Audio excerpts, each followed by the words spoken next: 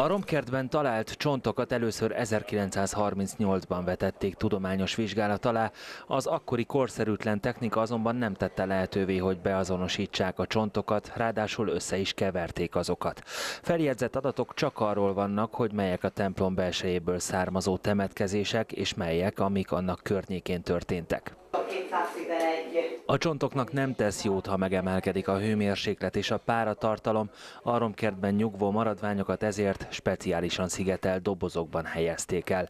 A megfelelő klímát pedig a föld alatti teremmel összeköttetésben lévő számítógéppel éjjel-nappal ellenőrzik. Hogy pontosan kik, illetve mely uralkodóink vannak itt, azt ugyan nem lehet biztosan tudni, de minden bizonyal egykori magasrangú emberek és azok hozzátartozói vannak a kriptában. Ezek nyilván azért a társadalom magasabb rétegeihez tartoztak, akár a korai időket veszük, ez a templom keleti része, amit 38-ban tártak föl, tehát a 11. században nem bárki temetkezhetett, ez azt jelenti, hogy királyi épp minimum, vagy még magasabb rangú emberek. Ez egyébként a sír mellékletekből nem állapítható meg, mert keresztény szokás szerint melléklet nélkül általában csak valamivel belecsavarva, nagyon ritkán lehet viselettárgyat találni, temették el az embereket.